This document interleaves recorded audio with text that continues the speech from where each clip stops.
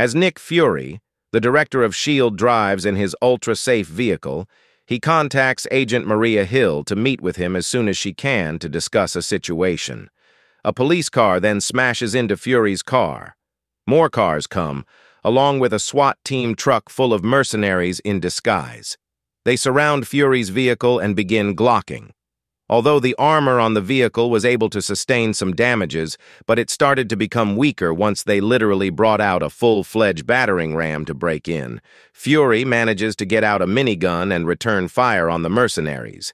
He drives away with two cars still on his tail, though he shakes them off at an intersection where they get hugged by a truck.